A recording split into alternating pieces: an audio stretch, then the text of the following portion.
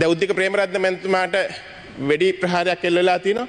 මෙන්න මේවා සම්බන්ධයෙන් අපි විරෝධය මතු කරනවා හා සමානවම මේ සම්බන්ධයෙන් විශේෂයෙන් ඉක්මනින් පරීක්ෂණ පැවැත්විය යුතුයි කියන එකත් කියන්න ඕනේ. මොකද කාන්තාවනි සම්මුඛ පරීක්ෂණ සඳහා සෞදි නියෝජිතයින් දැන් දිවයිනේ පස්පෝට් රැගෙන වහාමෙන් රටේම අය විශ්වාසයෙන් රට යන තැන මාතා විදේශරකයා ආයතනය කුරුණෑගල. මෙයාගේ කාලයක් තියෙන එතකොට දහටක් බොහොමත්ම ස්තුතියි. ඇත්තටම අද මේ රටේ දේශීය ආර්ථිකයේ වැදගත් පිම්මකට අවශ්‍ය අ, පනතක විශේෂ අතිවිශේෂ ගැසට් පත්‍රයක් මගින් ඒ අවශ්‍ය නීතිරීති රාමූන් ගොනු කිරීමක් සිදු කරලා තියෙනවා.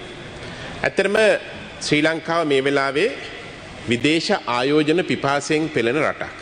මේ ආර්ථිකය බිඳ වැටිලා ගොඩ එන්නට නම් අනිවාර්යෙන් විදේශ ආයෝජනවල ලොකු සහයෝගයක් ශක්තියක් මේ රටට ලැබෙන්න ඕනේ.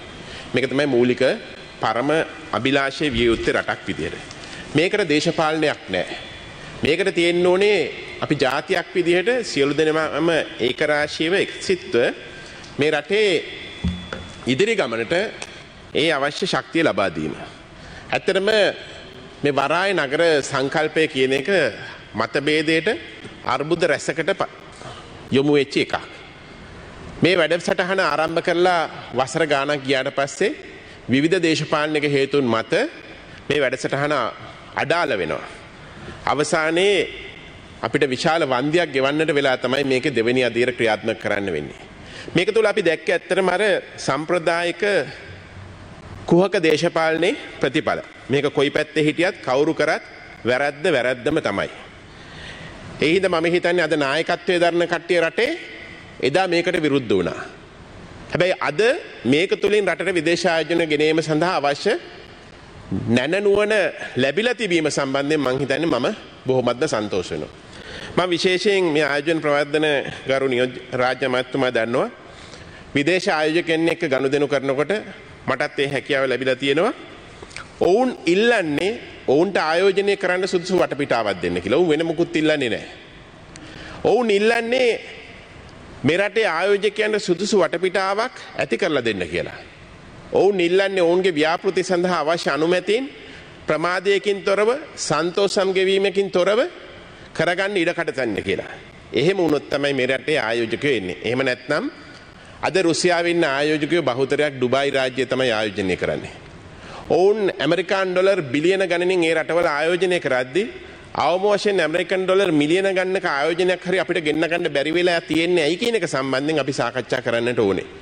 එහෙනම් මුලින්ම අපි ව්‍යාපාර කිරීමේ ඒ දර්ශකය ඩුයින් බිස්නස් ඉන්ඩෙක්ස් එකේ ඉස්සරහට යන්න ඕනේ. මේක තමයි වැදගත්ම දේ. මේ සඳහා අවශ්‍ය නීති රීති සම්පාදනය කරන්න මේ වරාය නගර කෙටුම්පත් අත් සම මේ ගැසට් පත්‍රයත් සමග යම්කිසි ප්‍රවණතාවයක් ලැබිලා තියෙනවා. මේ තුල අපි විශේෂයෙන් මේ ඩිජිටල් කරණය ගරු අමාත්‍යතුමා වැදගත් වෙනවා මොකද අපි දැකලා තියෙන ගොඩක් නිවසක ගමේ ප්‍රාදේශ සභාවට ගිහිල්ලා ප්ලෑන් එකක් අනුමත කරන්න ගියත් නොසිතූ ආකාරයෙන් ප්‍රමාද වෙනවා. මේ ප්‍රමාදයේ සාධාරණ ප්‍රමාද නොවේ. මේක ඉක්මන් කරගන්න නම් සන්තෝෂම් ගෙවන්න වෙනවා. ඒ වගේ තත්ත්වයක් මේ රටේ විදේශ ආයෝජකයන්ට ඇති වුණාම මේක කටින් කට ගිහිල්ලා කිසිම රටක ආයෝජකෙක් මේ රටට එන්නේ නැහැ. එහෙනම් මූලිකව ඒක නැති කිරීම සඳහා තියෙන හොඳම ප්ලැට්ෆෝම් එකක් තමයි ඩිජිටලයිසේෂන්. ඒකත් එක්ක මේ ගනුදෙනු කරන්න ගත්තොත් අපිට මම හිතන්නේ විශේෂයෙන් ආයෝජකයන්ගේ විශ්වාසය ගොඩනගා ගන්න පුළුවන් වේවි.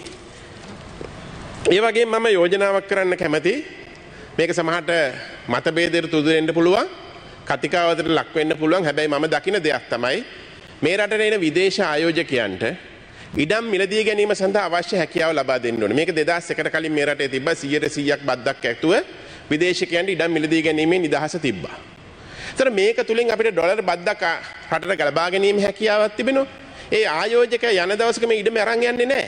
මේ ඉඩම මේ රටේ තියෙනවා. මේක තමයි සිංගප්පූරුව ක්‍රියාත්මක කරේ. ලීකුවන්ව ක්‍රියාත්මක කරේ ඒක.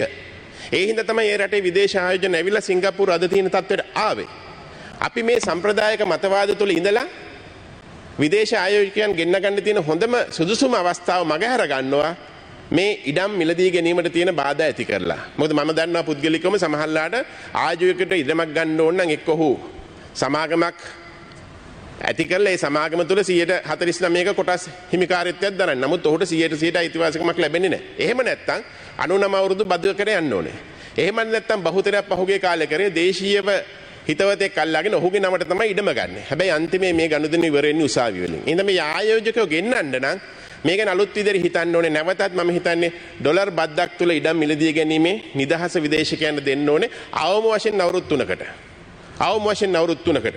එතකොට මම හිතන්නේ මේ රෂ් එකත් එක්ක අපිට ලොකු විදේශ ආයෝජන සහ තව කොන්දේසි අපිට දාන්න පුළුවන් අවුරුදු 3ක් උඩ මේ ව්‍යාපෘති අවසන් කරන්නට ඕනේ. මේ සියල්ලම කොන්දේසිත් එක්ක ගිහිල්ලා රටේ විදේශ ආයෝජන මේ තරංගකාරීත්වයක් ඇති කිරීමේ හැකියාව තියෙනවා.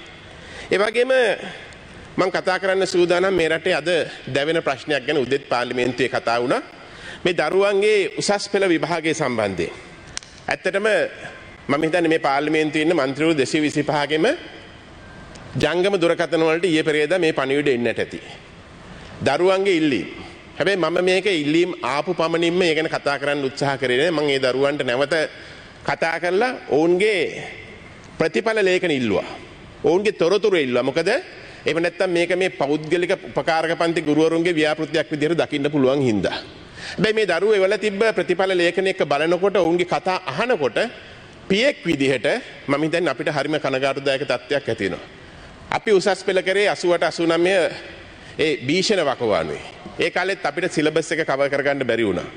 ඒ කාලේ අපි එක සීසන් එකේ මාස 6ක් 7ක් ගියා මොකද පාසල් පැවැත්තුනේ නැහැ. හැබැයි විභාග නියමිත කාලවලට තිබ්බා. හැබැයි අද දරුවන්ට මේ කොවිඩ් වසංගතයත් එක්ක ආර්ථික අර්බුදයත් එක්ක මේ પરම්පරාවේ දරුවන්ට අපිට වගේ දරා ගැනීම ශක්තියකුත් නැහැ. අපිට වගේ වේගෙන් වෙනස් වීමේ හැකියාවකුත් ඇති වෙලා නැහැ අද සමාජ තත්ත්වයන් තුළ. ඒ හින්දා තමයි මේ වන පණිවුඩේ වන දරුවෝ බොහෝ දෙනෙක් කියන්නේ අපි මානසික පීඩනයට බෙහෙත් ගන්නවා. අපිට මේ විභාගේ කල් දාලා දෙන්න උදව් කරන්න. එක මේක දරුවා යවලා තියෙන්නේ අද පණිවිඩයක් විභාගේ කල් දාන්න එපා කියලා මම ඒකත් කියන්න ඕනේ. ඒ දෙවෙනි වර මම පෙනී ඉන්න තීරණය කරා ඒ අනුව මම සූදානම් වුණා ඒ හින්දා විභාගේ කල් දාන්න එපා කියලා. හැබැයි බහුතරයක් ප්‍රතිඵල එනකන් ඉඳලා තමයි තීන්දුව කරන්නේ නැවතත් විභාගයට යනවද නැද්ද කියන එක. මොකද යම් කිසි විශ්වාසයක් ඇතිවරම විභාගයට මුහුණ දීලා ප්‍රතිඵල ලේඛනයේ දකින්නකන් ඒ විශ්වාසය බිඳලා ගන්නෙ නැහැ. මේ ප්‍රතිඵල ඇවිල්ලා දවස් 84ක් වැනි කාලයක් තුල මේ විභාගය පවත්වනවා නම් මේ දරුවන්ට අසාධාරණයක් වෙනවා කියන එකත් පේනවා. හින්දා මේ දෙපැත්තම අපි සාවධානව ඇහුම්කන් දෙන්න ඕනේ. ඒ වගේම රටේ විභාග කාලසටහන නැවතත් යාවත් කාලින විය යුතුයි. ඒ සඳහා මම හිතන්නේ ගරු අධ්‍යාපන අමාත්‍යවරයා විශේෂ වැඩසටහනක ක්‍රියාත්මක වෙනවා. ඒ අරමුණ හොඳයි. ඒ අරමුණට යන්න මම හිතන්නේ වැදගත් වෙනවා. එක ජන දරුවන් කොට්ටාශයක් පමණක් සන්තෝෂයට ලක් කළා. තවත් අහිංසක දරුවෝ කොටසකට දුකක් දීලා මේක කරන්න බෑ. ඒ හින්දා ප්‍රායෝගිකව 2024 පළමු වාරයේ ආරම්භ වීමට ප්‍රථමයෙන් මේ විභාගය පවත්වලා දරුවන්ට සූදානම් වීම සඳහා සාධාරණ කාලයකුත් දීලා ඒ අවශ්‍ය කටයුතු කළ යුතුයි කියන එක මම මේ අවස්ථාවේ ප්‍රකාශ කරන අතර ගරු අධ්‍යාපන ඇමතුමාගෙන් විශේෂයෙන් ඉල්ලා සිටිනවා මෙතන නැති වුණත් මේ සම්බන්ධයෙන් සාවධානව ඇහුම්කන් දෙන්න මොකද ඔබතුමා ඔබතුමාගේ ගෙදර දරුවන්ට විතරක් නෙවෙයි අද මේ රටේ පෙර පෙර පාසලේ ඉඳලා විශ්වවිද්‍යාල දක්වා යන දරුවන්ගේ පියා බවට නොනිල වශයෙන් පත් වෙලා ඉන්න හින්දා. ඒ වගේම අපේ පෙරේදා දැකපු කනගාටු දායක පුතක් තමයි මේ වෙඩි ප්‍රහාරයක් මැද්දේ කුඩා දැරිවියක් මිය යනවා. මේ රටේ ලොකු ඝාතන සංස්කෘතියක් ඇති වෙලා තියෙන්නේ. මේ ඝාතන සංස්කෘතිය තුල මම හිතන්නේ ආයෝජක ගෙන්න ගන්නත් බෑ මේ தත්ත්වය තුල. අපි අපි දන්නවා සමහර අප්‍රිකානු රාජ්‍යවල ආයෝජනය කරපු අය ගරු අමාත්‍යතුමනි ඔවුන් යන්නේ හමුදා ආරක්ෂා ඇතුව තමයි රටට ගොඩ බහින්නේ. ඔවුන් ගොඩ බැහැලා ගිහිල්ලා ඔවුන්ගේ ව්‍යාපාරවල නිරත වෙලා නැවතත් එනකන් ඔවුන්ට ඔවුන්ගේ ජීවිතය ගැන ආරක්ෂාව ගැන ශක් මේ විශ්වාසයක් නැහැ. දැන් අපේ රටෙත් එහෙම තත්ත්වයක් ඇති වේද කියන සැකය මතුවෙනවා. මොකද පහුගිය කාලය තුල හමුදා වලින් විතරක් සේවය අත්හැර ගිය ප්‍රමාණය 25000කට වැඩි. මට හිතා ගන්න බෑ මේ තරම් ආර්ථික අර්බුදයක් තියෙන අවස්ථාවක රජයේ රැකියාවක් දාලා මෙහෙම එළියට යන්නේ ඇයි කියලා. අඩු ගානේ මොවුන් විදේශගත වෙනවනම් විදේශ රැකියාවකට යනවනම් මේ රටේ ඩොලර් ආදායම හරි ඉහළ යාවි. හැබැයි මෙයින් බහුතර කොටසක් නැවතත් වෙනත් නීති විරෝධී කණ්ඩායම් වලට ගොනු වෙනවද කියන එක මේ රජයේ විශේෂයෙන් සලකා බැලිය යුතුයි. මේක දැඩි ප්‍රශ්නයක්. අපිට වනත් පාරක යන්න බයයි අනුන්ට තියෙන වෙඩිල්ලක් අපිට වදීද කියලා. දැ උද්දික ප්‍රේමරත්න මැන්තුමාට වැඩි ප්‍රහාරයක් එල්ලලා තිනවා මෙන මේවා සම්බන්ධෙන් අපි විරෝධය මතු කරනවා හා සමානවම මේ සම්බන්ධය විශේෂයෙන් ඉක්මනින් පරීක්ෂණ පැවැත්විය යුතුයි කියන එකත් කියන්න ඕනේ මොකද එහෙම නැත්නම් මේවා බිහිලෝට ගන්න පිරිසකුත් මේ රටේ ඇති වෙලා තියෙනවා. ඉතින් මම හිතන්නේ මේ රටේ ජනතාවට නිදහසේ ගමන් බිමන් යාමේ අයිතිය සුරක්ෂිත කිරීමේ වගකීම රජයක් විදිහට අද තියෙනවා. රජයක් විදිහට ඒ වගකීම මගාරිනවා නම් ඒ වගේම හමුදාවෙන් 25000කට වැඩි ප්‍රමාණයක් කෙටි කාලයක් තුළ සේවය අත්හැර ගිහිලා තියෙද්දි ඔවුන් පිළිබඳ වාර්තා ලබාගෙන මේ පාර්ලිමේන්තුව දැනුවත් කළ යුතුයි.